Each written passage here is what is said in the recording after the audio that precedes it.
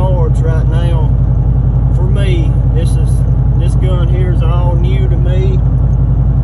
So uh, I'm not gonna try to take no super long shot with it, which I've watched a lot of videos. It can be done, but myself, I don't feel comfortable with it. Last night, uh, I had a lot going on after I got out of the woods.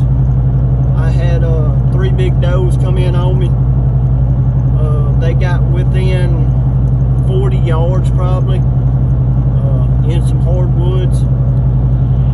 Uh, she never would turn broadside and give me a real good shot, so I just watched her. I know the, I didn't want to take a doe yesterday uh, with my big rifle, so I just watched them feed around a little bit and they kind of eased off into the cutover and went on their business.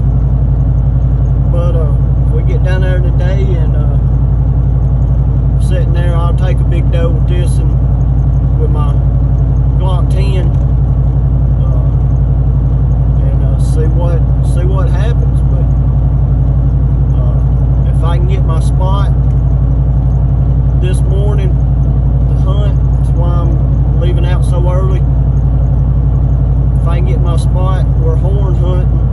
Uh, it's gonna have to it's gonna have to be a pretty good deer for me to take it where I'm going today. Uh, it takes a little bit getting them out, uh, way off a, a bluff and stuff. So we're gonna see. So that's that's the update on uh, starting of the Thanksgiving hunt. Hope y'all have a happy Thanksgiving.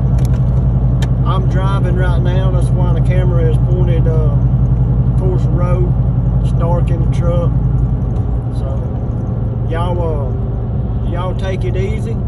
I appreciate all the comments and likes and share my videos. Tell your friends, family, whoever you know. Try to get my subscribers up. Y'all have a good one. Boss man out. See y'all.